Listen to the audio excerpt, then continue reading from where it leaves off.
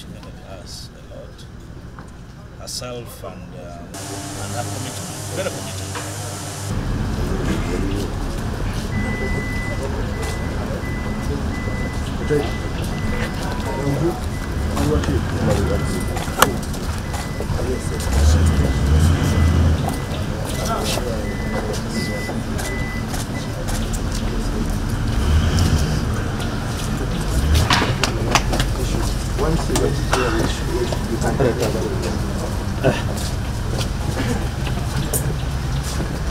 Let me send you the pin to follow.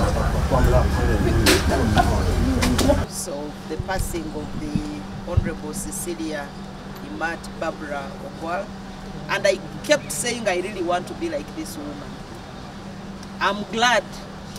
Uganda was, until recently, when we went back to multi-party dispensation, but she did not relent on speaking and calling upon the powers that be.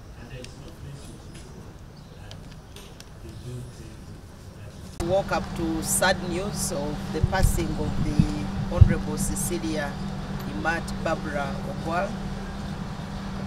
To many of us, it came like a shock because Mama has really been moving. You know, she loved work. Mama has been working hard. We all refer to her as Mama, and the title suits her well. May Mama rest because she played her part as a citizen of the country, as a mother, as a wife, but at most importantly, as a leader. Many of us, while growing up, we looked on to Cecilia Ogwal as a role model.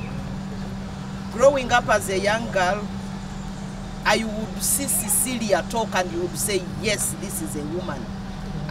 Kept saying, I really want to be like this woman. I'm glad she played a part, she played a role in my life, coming up as a young leader. And when I came to parliament, she was among the first people who gave me counsel. She told me how to handle myself around parliament. She took me through balancing work and family.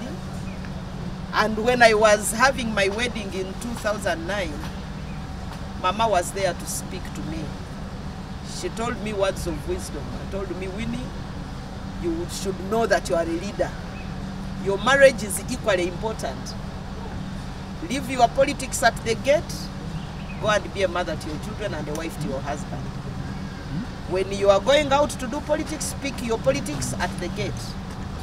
So basically, she wanted to tell me that as a leader, you need to learn how to balance between work and family, but at the same time, be consistent.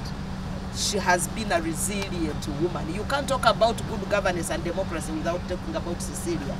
Every time Uganda was at crossroads in terms of uh, shortages in human violations, shortages on uh, human rights, Cecilia would speak loudly.